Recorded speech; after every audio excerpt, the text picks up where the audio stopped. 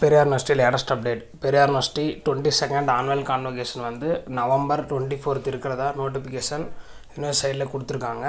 இதுதான் யூனிவர்ஸ் சைடில் கொடுத்த நோட்டிஃபிகேஷன் பெரியார் பல்கலைக்கழகம் சேலம் பதினொன்று இருபத்தி ரெண்டாவது பட்டமளிப்பு விழா செய்திக்குறிப்பு. சேலம் பெரியார் பல்கலைக்கழகம் இருபத்தி ரெண்டாவது பட்டமளிப்பு விழா எதிர்வரும் இருபத்தி நாலு பதினொன்று ரெண்டாயிரத்தி இருபத்தி மூணு அன்று பெரியார் பல்கலைக்கழக வளாகத்தில் நடைபெற உள்ளது இப்பட்டமளிப்பு விழாவில் பல்கலைக்கழக வேந்தர் மற்றும் ஆளுநர் தமிழக ஆளுநர் முனைவர் பட்டம் பெற்ற மாணவர்களுக்கும் மற்றும் முதல் தர வரிசை தேர்ச்சி பெற்ற மாணவர்களுக்கும் பட்டங்கள் வழங்க உள்ளார் அப்படின்னு சொல்லியிருக்காங்க.